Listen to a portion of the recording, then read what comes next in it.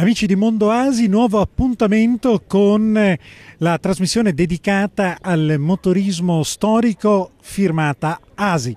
Siamo a Campobasso quest'oggi per raccontarvi in primis cos'è accaduto all'undicesima edizione della targa del Matese e poi come al solito vi presenteremo una serie di servizi raccolti qua e là sulle strade della nostra penisola.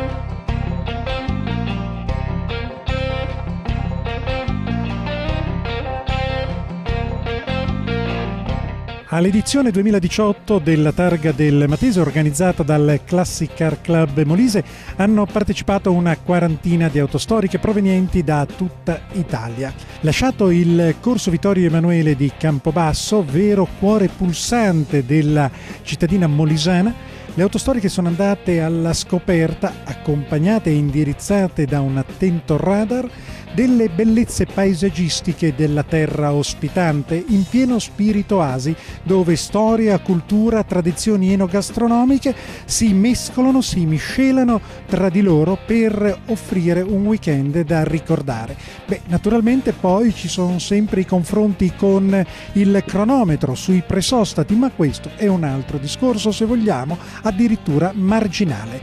Fiore all'occhiello di questa undicesima edizione è stata la visita alla Morgia, uno sperone roccioso alto 55 metri i cui reperti ceramici ritrovati consentono di fissare l'origine dell'abitato, ivi insediato, ai primi secoli del basso medioevo. Nel pomeriggio ancora storia e cultura attraverso un percorso variegato, sempre molto guidabile, e poi gli annunciati confronti con il cronometro Sentiamo il presidente del club, Pietro Gabrieli.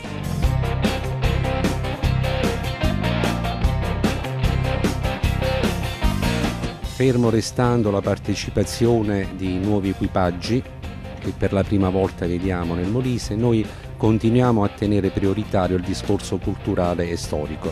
C'è un aspetto eh, agonistico, diciamo competitivo, però prevale sicuramente l'aspetto eh, turistico, l'aspetto paesaggistico di questa nostra regione.